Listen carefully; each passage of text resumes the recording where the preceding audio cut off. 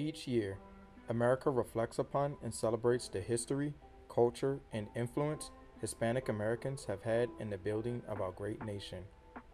Beginning September 15th, we honor the contributions made by Hispanic Americans during the National Hispanic Heritage Month.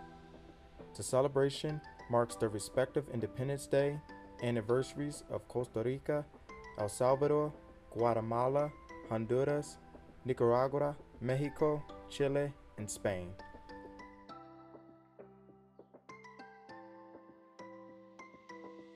This year's national theme, Esperanza, a celebration of Hispanic heritage and hope, honors and celebrates the contributions of Hispanic Americans to our nation.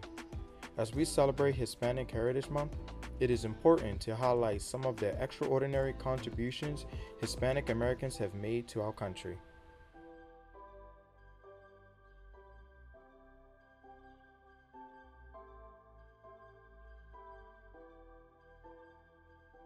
Forty-six Hispanic American soldiers have earned the Medal of Honor, including several from across America's Armored Corps.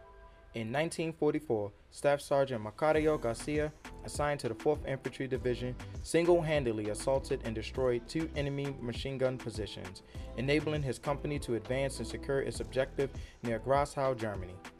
In the Tay Ninh Province of Vietnam, 1966, Captain Euripides Rubio, with the 1st Infantry Division, exposed himself to heavy enemy fire. Despite being severely wounded, he successfully repositioned a friendly airstrike marker to destroy hostile positions, ultimately turning the tide of the battle. Two years later, in the Quang Tri Province, 1st Cavalry Division Specialist 4th Class Hector Santiago Colón heroically sacrificed his life when he used his body to absorb the full impact of a grenade that entered his foxhole, saving his teammates and enabling them to force enemy retreat.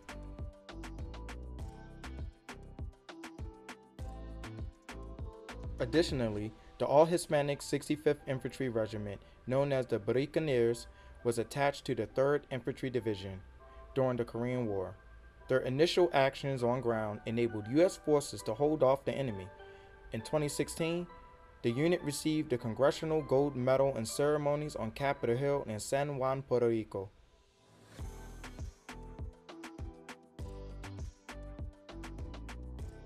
Today, 23% of the Army's 140,000 Hispanic American soldiers serve in the 3rd Armored Corps.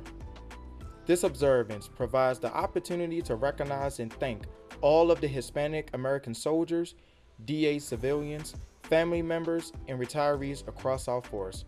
Diversity is a component of our strength, and together, we are the most lethal organization in the world America's Hammer.